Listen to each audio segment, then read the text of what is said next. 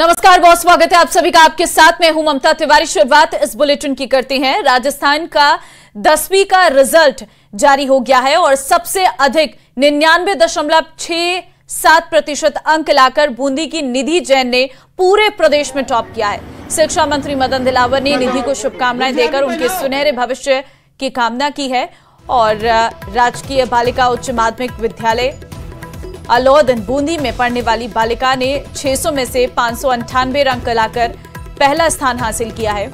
निधि नियमित रूप से सात से आठ घंटे पढ़ाई करती थी। निधि जैन अपनी सफलता का श्रेय अपने माता पिता और गुरुजनों को दिया है। निधि जैन आगे इंजीनियर बनना चाहती है। आपको बता दें कि दो साल पहले निधि ने अपनी माँ की माँ को कोरोना में गंवा दिया था और इसके निधि जैन अपने छोटे भाई लक्ष्य को संभालते हुए प्रदेश में परचम लहराया है।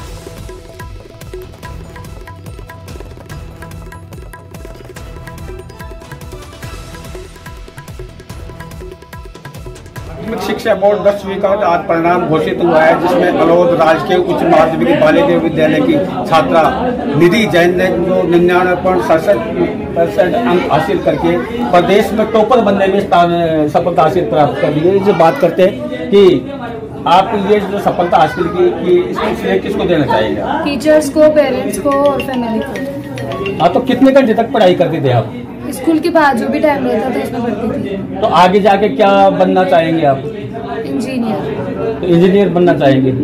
तो आप जो अपनी जो पढ़ाई करती थी इसमें जो आपके जैसे सुनने में आया कि आपकी माता जी का भी देहांत हो गया था तो आपने अपने मनोबल को बनाए रखा। तो ये बड़ी ये मुश्किल के समय में आप निकल करके तो क्या करना चाहेंगे?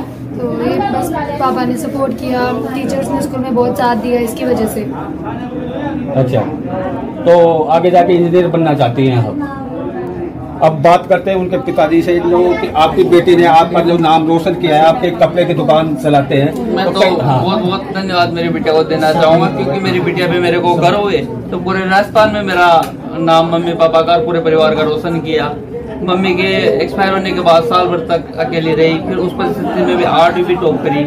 उसके बाद दसवीं में खूब मेहनत करी और मम्मी पापा दादा दादी भैया भाभी सबका अच्छा सपोर्ट रहा।